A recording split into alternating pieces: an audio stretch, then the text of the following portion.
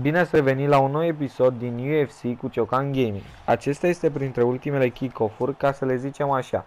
În continuare, urmând să jucăm la carieră. Acum vă las să urmăriți meciul.